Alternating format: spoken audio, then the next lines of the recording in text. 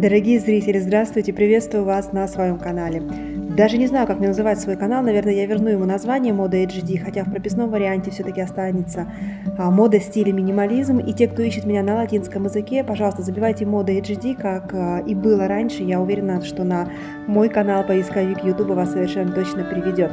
Итак, сегодня у нас прогулка стандартная, потому что сегодня выходной, сегодня 26 число, сегодня выходной день после празднования Рождества. И мы снова в Паду, и как и большинство итальянцев, э, которые, которые просто гуляют мы также просто гуляем, выбрались на прогулку, выбрались э, пообедать, и очень часто возникает вопрос по поводу погоды. Действительно, если посмотреть на мои репортажи, на мои стрит-стайлы, можно подумать, что кто-то просто-таки утеплился, а кто-то гуляет прямо-таки в футболках. Хочу сказать, что это особенность климата, о котором я, например, не знала, об этой особенности я даже не подозревала, когда приехала сюда в Италию. Здесь, во-первых, вся архитектура и все постройки а, именно сосредоточены на сохранении тени в жаркие дни, в летнюю погоду, а также а, жаркой весной. И поэтому, если вы находитесь в тени, там может быть очень-очень прохладно. А если вы выйдете на солнце и солнечные дни последнее время, то вы прямо-таки согреетесь, возможно, вам станет настолько тепло, что вы захотите снять верхнюю одежду. Именно поэтому очень многие ходят в верхней одежде расстегнутые, потому что, да, чуть-чуть выйдешь на солнце и становится действительно тепло. Зайдешь в тень и достаточно прохладно и достаточно сыро. Здесь совсем другие требования к одежде. Здесь та многослойность, которая стала модной по всему миру, которая, возможно, пришла в том числе и из Италии, эм, она как раз-таки необходима для того, чтобы не мерзнуть. Здесь не спасет просто толстый свитер и шуба сверху. Здесь нужна хлопковая многослойность, много слоев, и будет а, достаточно достаточно тепло. Итак, что мы видим в этом стрит-стайле? Мы видим снова очень много белого, очень много бежевых, белых аутфитов. Обратите внимание вот на такую интересную обувь. Я ее стала видеть все чаще и чаще. Это укороченные уги. Пока именно уги выпустили такую версию обуви. Недавно я показывала, как я свои собственные уги так обрезала, но на самом деле совершенно из других соображений. Мне нужен был кусочек замши. И тем не менее, я думаю, что это как раз-таки тренд, который станет очень популярен. И также я покажу в этом стрит-стайле, если все не войдет в последующем, общем, снова на цветные носки. Я думаю, что все зрители моего канала смогли уловить, заметить и почувствовать этот тренд. В следующем году он будет мега-супер популярен. Это цветной носок. Если раньше щиколотки были обнаженные, то теперь щиколотки все чаще и чаще закрываются. Либо просто черным или белым носком, но все чаще и чаще это фантазийные носки. Носки с блестками, носки расшитые, носки с пайетками, носки с люрексом. Все возможные фантазийные носки. Что ж, мы видим очень много шуб снова. Хочу обратить ваше внимание на так называемые называемые старомодные коричневые шубы. Их очень-очень много. На мой взгляд, они смотрятся очень-очень здорово, потому что однажды они были объявлены старомодными, и они как будто бы исчезли, и их стало очень-очень мало. И посмотрите, как классно и здорово можно обыграть старомодную шубу из коричневого меха норки при помощи прежде всего обуви. Очень хорошо и мне очень нравится, как смотрятся шубы с кроссовками, а также с Челси. Но и также любую старомодную шубу можно обыграть при помощи брюк, которые укорочены, которые заужаются. Это будет смотреться очень и очень здорово. Также можно встретить э, современный окрашенный мех, он тоже присутствует в Италии. Вообще меха очень много, повторюсь, для многих моих зрительниц это было удивлением, для зрительниц, которые живут э, в России, для зрительниц, которые живут в других европейских странах, где возможно, движение зеленых более активно, но тем не менее в Италии очень популярен цветной мех, это прежде всего розовый и голубой мех, его на стрит-стайле я встречаю очень-очень часто.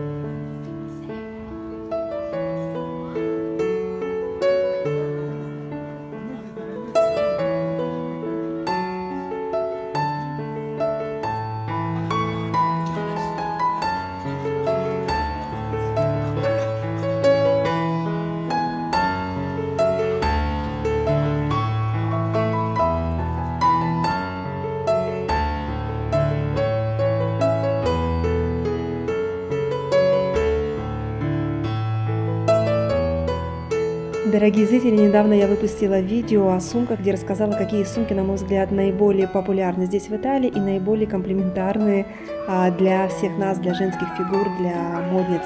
Я обратила внимание на кроссбеги, на яркие кроссбеги, на фактурные кроссбеги. Покажу вам витрину, это Mio Mio.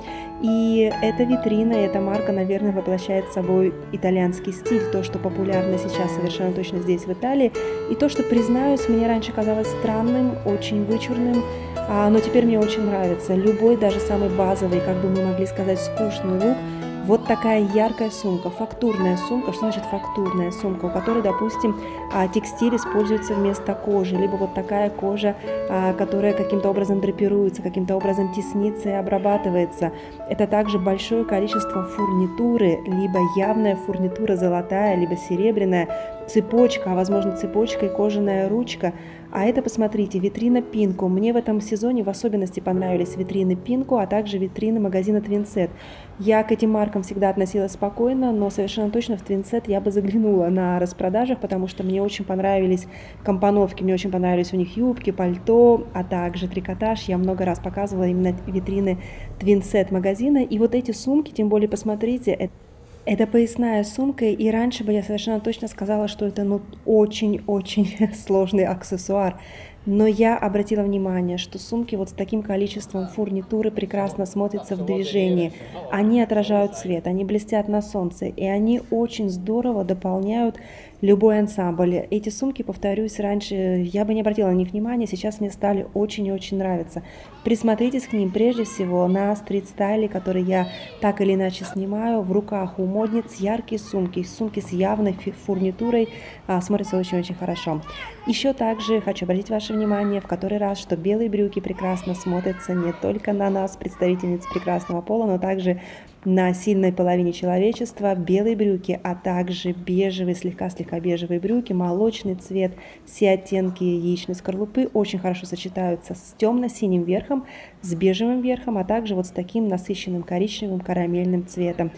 Смотрится очень элегантно, очень красиво, повторюсь, что на мужчинах, что на женщинах.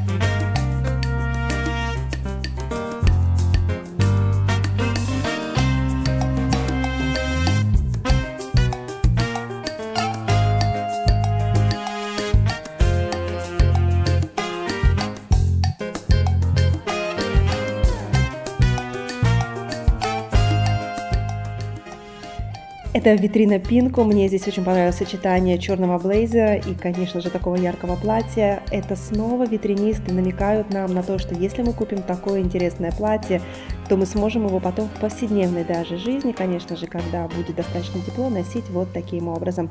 Я говорила, что витринисты рассказывают нам, что самое вечернее платье, прежде всего, если оно короткое, оно прекрасно обыгрывается при помощи грубой обуви и превращается в повседневный наряд, ну и также при помощи вот такого черного блейзера. Повторюсь, это витрина Пинко. Я думаю, что очень многие могли догадаться, что я также готовлюсь э, к видео, отдельному видео про обувь. Обувь итальянки любят фактурную, со стразами, очень-очень яркую. А эта витрина снова Прада, я ее уже показывала, но посмотрите, как неаккуратно оформлена эта витрина в этот раз. Я не знаю, куда смотрели стилисты и витринисты Прада. Если бы мои работники так витрину оформили, а я была бы директором магазина, я бы их очень-очень-очень сильно отругала, потому что носки скошены, обувь э, не, неаккуратно застегнута. Но показываю я эту витрину, конечно же, исключительно для того, чтобы показать, э, что да, носят, носят и предлагают носить нам любую обувь, даже босоножки на босу ногу, которую должны мы надевать, э, прежде всего вот с таким носком, в данном случае это тонкий хлопковый носок.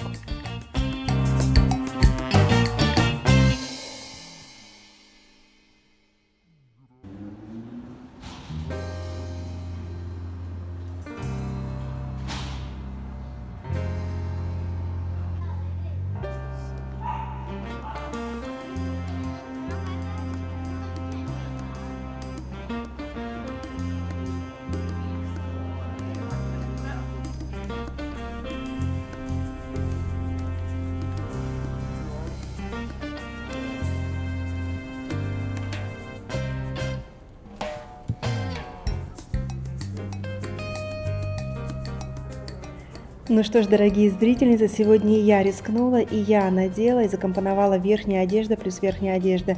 Не очень хорошо видно, но это сеньора, на которой надета, надета кожаная куртка и поверх а, вот такое пальто. Я показываю вам витрину, возможно, вам не очень хорошо видно, но это тренч, надетый поверх тонкого пальто. Для такого интересного сочетания вам понадобится именно тонкое, бесподкладочное пальто. Вы можете надеть его под вашу верхнюю одежду, которая будет плотнее, либо поверх верхней одежды. Я показывала, как я надевала такое тонкое пальто в мангу, я примерила поверх своей шубы, в которой я и сегодня нахожусь. Итак, нам понадобится тонкое пальто, база очень тонкая, тонкий свитер, потому что мы будем создавать многослойность, но мы должны понимать, что эта многослойность не должна нас полнить. На мне леггинсы, на мне свитер средней плотности, на мне пальто бесподкладочное, в данном случае розовое, и также сверху шуба. И вот, э, вот как все получилось, на мой взгляд, очень-очень здорово, очень свежо. Сегодня я получила очень много комплиментов от стрит-стайлеров, которых я останавливала и фотографировала. И сегодня я себя чувствовала, что называется, на стиле. Повторюсь, э, таких вариаций может быть огромное количество. Я выпущу отдельное видео, где постараюсь закомпоновать кусочки со стрит-стайла, но я всегда обращаю внимание, как, например, вот эта сеньора. У нее очень плотный пиджак из вельвета, и поверх надета вот такая длинная шуба. При этом я уверена, что эта шуба модернизирована. Я думаю, что это, этой шубе достаточно много лет. От нее отрезаны рукава, они сделаны короткими. И посмотрите, как это классно смотрится.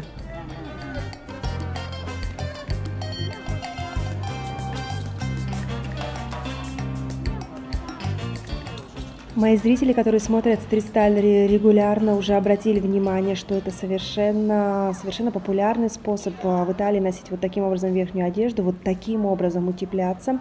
И самый распространенный способ это, конечно же, меховой жилет поверх пальто, поверх кожаной куртки, поверх пиджака, жакета, всего чего угодно.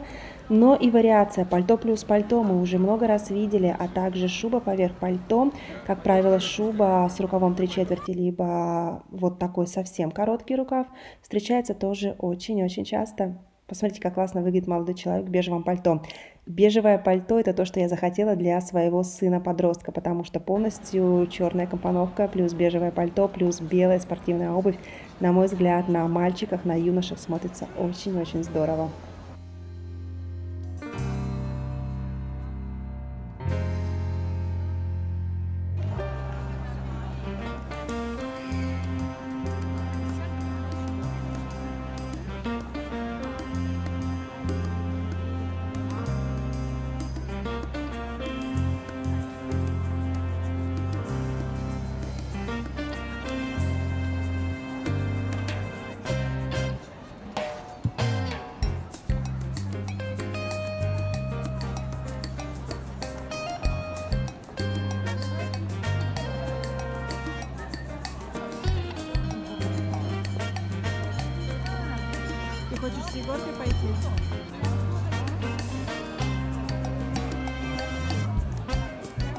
Дорогие зрители, желаю всем хорошего праздничного настроения, желаю всем приготовить э, хорошие, приятные, классные подарки для своих близких и получить э, в подарок то, что вы загадали, то, что вы сами желаете. Но самое главное, я желаю всем действительно праздничного настроения, этого ощущения праздника, этого предвкушения праздника, которое, которое так приятно.